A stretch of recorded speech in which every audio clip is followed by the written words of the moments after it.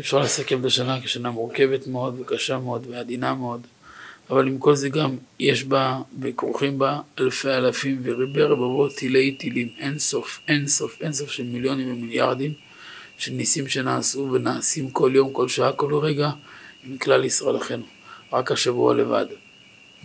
אי אפשר לתפוס מה שנעשה, רק השבוע לבד, רק יום שני השבוע לבד.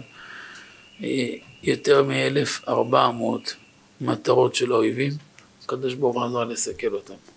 אתם מבינים שיותר מ-40% מהטילים שלהם, השם עזר לפוצץ להם השבוע.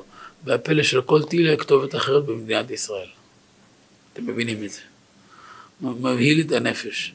אני חושב בחשבון שעשיתי עם עצמי, רק בחודש הזה, בניסים שהקדוש ברוך הוא עשה, בערך נחסך דם של בערך חמש מיליון תושבים בארץ ישראל. לפחות. לפחות. מכמות הנשק שהכינו עבורנו נגדנו, והיו כבר מכוונים ותוכנתים כבר. לפני שלוש שבועות הכריזו מלחמה, ערב ראש חודש אלול, בשש בבוקר, בשמונה בבוקר נגמרה המלחמה, איך איך זה הולך? אתם מבינים מה המשמעות של הכרזת מלחמה? אני אומר לכם כמעסיק, במלחמות קודמות שהכריזו מלחמה, אז קיבלנו כמעסיק, מעסיקים קיבלו פיצוי במדינה. השנה היינו צריכים לשלם עשרות משכורות בלי, בלי לקבל תפוקה של עובד. בחוקית אתה צריך, צריך לשלם לעובד משכורת, והמדינה לא, עזר, לא עזרה בכלום. אתם מבינים שלמעסיקים זה פער של מיליוני שקלים. ולא הכריזו מלחמה, כל השנה הזאת עם עזה לא הכריזו הכרזת מלחמה רשמית עם המשמעות החוקית שלה. ושם בלבנון הכריזו מלחמה, תוך שעתיים מסתיים מה קרה? מה זה ככה עובר לכם ליד האוזן? אני לא אדם ששומע תקשורת, בחיים לא שומע אותם בלי נדר. אם אני אומר לכם זה מאוד מדויק.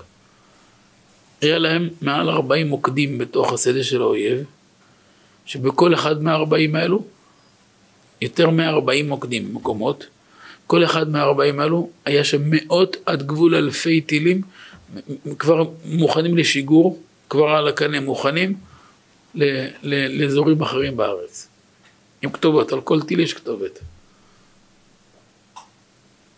על כל טיל כתובת. אתה מדבר על אלפי טילים שהיו צריכים לשתק בערך חצי מדינה. בהיערכות של הצבא והמדינה, הם לפי השכל וההיגיון, היו ערוכים ששבוע לא יהיה אפשר להרים את הראש במדינה, ואחרי שבוע תתחיל התגובה הראשונה. והיה לחץ מאיים.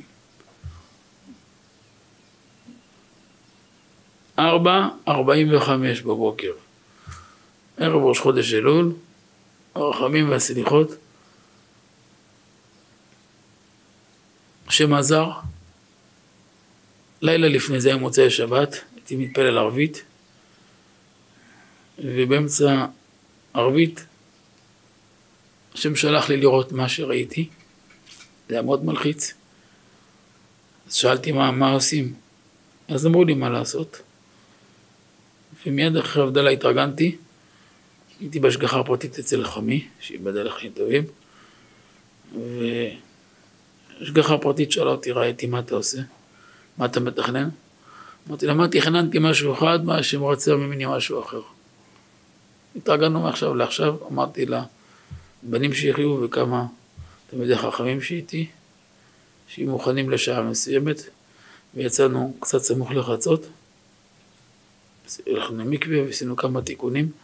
בקברי צדיקים אמרו לי מה? אמרתי צריך להמתיק דינים מכלל ישראל. ועשיתי לשמיה גדולה מחצות לארבע, ארבע ועשרה בבוקר, ממש מתנת שמיים. מה שלוקח הרבה הרבה ימים, צ'יק צ'ק הלך, ממש ראית את רצון גדול, ועשינו הכל בציונים בטבריה. וארבע ועשרה אמר לי חמי, מה, לאיפה חושב ללכת? אמרתי לו רבי שמעון, אמר לי זה מסוכן. אמרתי, זה לא קשור אלינו. אמרו לי, אזור מופגז, אמרתי, זה לא קשור אלינו, עם ישראל נמצא בבעיה, צריך לעזור. ואני ראיתי שצריך להתפלל כמה דקות לפני הנץ.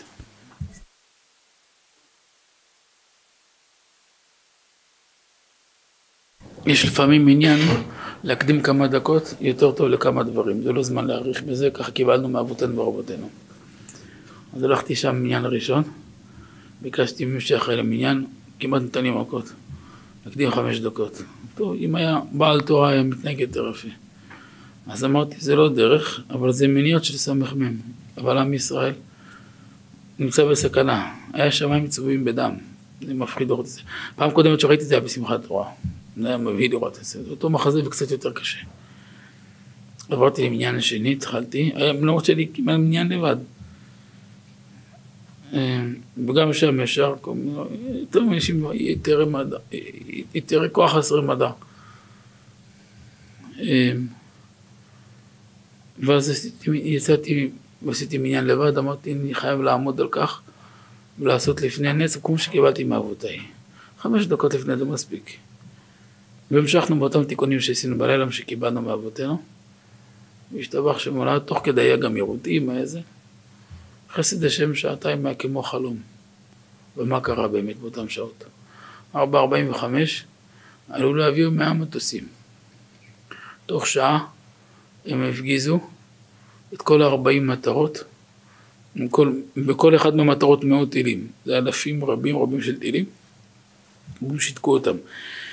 עם כל זה, מהצד עפו למדינת ישראל כמעט 400 טילים. במקום, זה עשרת אלפים טילים, אתם מבינים מה זה? זה לא נתפס. זה לא נתפס בכלל, אי אפשר להבין את זה כמה ניסים עשה ועושה השם לנו. בתור הבית פשוט עם שמונה תשעה ילדים, לכאורה תמימים, פתאום מתחת יש לך 70, 80, 100 טילים, כל טיל בגודל, הוא, זה, מה זה, זה בומבות, יותר קשה מסקד. מי שזוכר ב-91 היה לנו את מלחמת המפרץ, זוכרים? זה יותר קשה מסקד. זה טיל שמפורר בעניין שמונה קומות, מפורר, מפורר אותו כמו פירורים, אבק דק. מאן דחר שמימי נמצא שם, בר מינן. תחשבו ככה. שבוע לבד, יום שני לבד. אתה רואה בית פשוט, תמימי מאוד. מורידים פצצה על הבית, מורידים אותו, כמו פופקורן, טק, טק, טק, טק, טק, טק, טק, טק, טק, טק, טק, טק, טק, טק, טק, טק, טק, טק, טק, ככה. כל טק זה עוד טיל, עוד טיל, עוד טיל, עוד טיל. זה לא נתפס, לא נתפס. תחשוב כל טיל כתובת אחרת למדינת ישראל. אתם חושבים שהאזור לא מאוים? אז בוודאי שישמו עיניהם על המרכז, ועל הדרום, על כל המקומות, יש שם כתובות על כל הארץ. אנחנו לא, לא מכירים לא, כמה ניסים הקדוש ברוך הוא עושה לנו כל יום. ניסיך שבכל עת עמנו. זה ניסים נפלאות שלא נתפס בכלל. לא נתפס כמות הניסים שהקדוש ברוך הוא עושה לנו. לכן חייבים לדעת, קודם כל להודות לו, להלל, לשבח, לפאר, ב' להרחיק עצמנו ממקום הסכנה והנזק.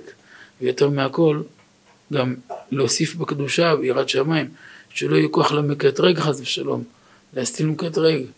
אדם שאחוז מקומות לא קדושים, שיתרחק מהם, אדם שיש לו אינטרנט פתוח והוא חשוף לכל מיני דברים לא טובים, שיתרחק משם, שיעשה תשובה, שיראה איך הוא מנקה את, את, את הבית שלו מכל הגילולים האלו. כל, כל כיוצא בזה, כל מה שאדם יכול להוסיף לקדושה בחרדת קודש, ראש השנה זה אסור שיעבור כמו עוד ראש השנה. שנה שעברה, נזעקתי הרבה על זה לפני ראש השנה, בשיעורים, שזו תקופה של בחירות, והיו עסוקים בכל מיני שטויות, במועמדים, בכל מיני דברים. זה, זה, זה, זה טיפשות להסתכל על זה עכשיו, זה יום הדין, זה, זה דברים יותר מהותיים. וכל ראש שנה וכיפור היו עסוקים בבחירות. מועמד הזה, מועמד הזה, במקום לבקש חיים ולבקש יישוב הדעת וגאולה, ביקשו מועמדים ושטויות. ובעלה ביוקר, תראו כמה, כמה נשמות קיפחו חייהם השנה. אז נכון שזכינו לראות ורואים מיליוני ניסים ונפלאות, אבל עדיין זה קשה מאוד. זה לא דברים שקל לעכל אותם. זה דברים שחסר תקדים. ולכן צריך הרבה תשובה, הרבה הכנעה, הרבה כובד ראש. וגם אה, כדאי להשתחרר מהדבר הזה. יש דבר שאני אמרתי לפני שלוש שבועות בשיעור באשדוד. שאלתי אותם שאלה, אמרתי להם שיש לי איזשהו כאב בטן כבר שלושים שנה מאיזה מאמר בזוהר. הזוהר הקדוש בתיקונים, זו קושייה גדולה שהייתה לי המון המון שנים. ורק החודש הזה שהם שלח לי אולי יישוב לה. או מגדיר אילן אינון בנינה, שאלה הם בני אדם, חציפין ככלבה, חצופין כמו כלבים. מי, מי נקרא בלשון הזוהר הקדוש חצוף כמו כלב? תגיד אולי בועל נידה, אולי מחלל שבת, אולי אוכל נבלות וטרפות, לא. אלה אילן אינון, אני אגיד לכם בעברית, שכל ימי מצווחין ככלבה, צועקים כמו כלבים, הב, הב, הב. אבלן בני, אבלן חיי, אבלן בני, אבלן מזונה.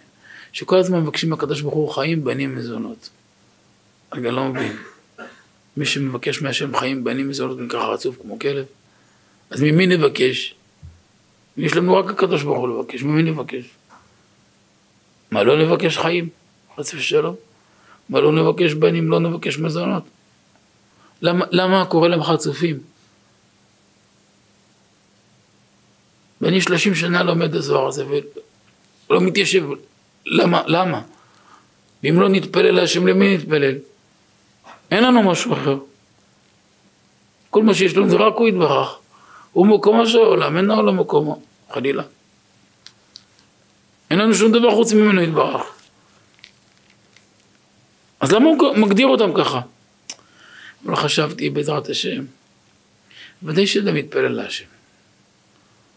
אבל המהות של התפילה, לשון תפילה, נפתו לא לי מבטלתי, התחברתי להתחבר להשם. התחבר לאינסוף, התחבר לקדושה, התחבר להשראת שכינה. אגב, צריך חיים, בנים, מזונות, ודאי, מה זה יהיה? חיים ומזונה. אבל זה לא העיקר. המסה המרכזית של התפילה זה לא זה. זה, לא זה. כמו כאלה אומרים, העיקר הבריאות. נכון שזה חשוב הבריאות, אבל זה לא העיקר. העיקר הדבקות בהשם, העיקר הקרבת השם, העיקר זה עשיית רצונו של מקום, השתפכות הלב והנפש לפני השם, אהבת השם, שם זה העיקר. אגב, אז חיים בנים מזונות, שזה אגב זה מצוין, אבל שזה תופס את השחקן המרכזי, אז זה פספס את המטרה. כי המהות של יהודי בעולם זה להיות מבקש השם, לקרבת השם, לדבקות בהשם. תראו דוד המלך. אחת שאלתי מת אדוני. אחת. אחת. רק אחת. באותה אבקש. היא השאלה, היא הבקשה. והוא אומר, שבתי בבית אדוני כל ימי חיי. שלא נצא מבית המדרש לעולם, שלא נסיח דעת מהתורה לעולם. אבל הוא לא, הוא, הוא, הוא לא מפסיק שמה. לחזות נועם אדוני, אני רוצה לראות מתיקות השם, ערבות השם, לראות מורות אלוקים, ולבקר בהיכלו, להיות עיל ונפיק בהיכלות העליונים. אה. הוא מתחיל למנות הרבה בקשות, אז אחת או הרבה. אבל דוד ידע, ידע איך לבקש. שים את העיקר עיקר, באגב אתה יכול להשחיל עוד הרבה דברים. שהעיקר הזה אהבת השם וקרבת השם, אז ממילא ישתחל בפנים חיים. התורה מעריך, כל העסק בתורה מעריכים לעמיו ושנותיו, וגם בצדקות אז גם זוכה למעלות רבות. ממילא גם בנים, גם מזונות, גם שבע מעלות כולם התקיימו ברבי ובבניו, משנה שם באבות. למה? איפה העיקר? איפה הטפל? ואולי זה גם היישוב לדברי הזוהר הקדוש הזה.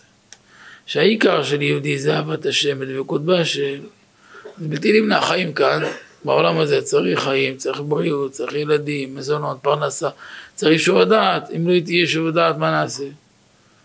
זה בזבוז זמן גדול מדי להיות טרוד בענייני העסקי עלמא הדין. אין לנו זמן להיות טרודים בענייני עלמא הדין. גם מה שלפעמים נגזר על האדם, קצת עיסוק, זה מבחינת לקיים את הקללה שבזעת אפך תאכל לחם. אבל לא באמת שצריך לזה. כי אם באמת באמת המקום של בן העלייה זה לא שם. בן העלייה המקום שלו זה לגמרי לגמרי להתאחוז באהבת השם וקרבת השם. אלא שאדם כל כולו אחוז בקודש, אז גם מהצד, ממילא אפשר שיבקש. אבל שזה עיקר הבקשה שלו. איפה קרבת השם? איפה אהבת השם שלך? לימוד תורה שלך? תפילה? שום קשר לאלוקות, שום כלום. זה כמו פרה, כמו סוס, כמו חמור, כמו כלב. הסוס והחמור והכלב והפרה והכבש, הוא אוכל והוא שותה והוא ישן והוא עובד, הוא פרה ורבה, אז אותו דבר, מה ההבדל? גם הוא צריך אה, בריאות, גם הוא צריך להישמר מה, מהצינון, מכל מיני מאכלות. אז איפה אדם שונה מהבהמה? אם לא באהבת השם וקרבת השם ודבקות בהשם. וזה גם נקודה של מסר של הימים של ראש השנה. להשתחרר בכל המניעים. לכן ככל שמתקרב ראש השנה יש יותר מניעים. פתאום להלחיץ אותו, לכעוס, הגיע כל מיני דברים. בא לי חלל כעס, בא לי חלל טעות. תהיה שאנן, תהיה דבק בהשם, לסמוך על השם שמה שהוא עושה רק טוב. אם תבקש, ותבקש בכל מאודיך, חיים. כי כמה שאדם יאריך ימים זה טוב בעולם. כמה שימסור נפשו לחיות ולהאריך ימים, חיים של תורה, חיים של קדושה, ולא חיים של עיקרים, לא חיים של בהמיות, חיים של אהבת השם, של דבקות בהשם, לא חיים של רדיפה אחרי חומר ומטרות, חיים של, של התענגת על השם, של אהבת השם, זה חיים נכונים. שמזכנו, שנה טובה, שמחה ומבורכת, תכלה שנה וקללותיה, ובעזרת השם נזכה ונראה את החל שנה וברכותיה. נזכה השנה הזאת לשמוע כל שופרו של משיח. הגאולה ברחמים, אמן כי נרצה.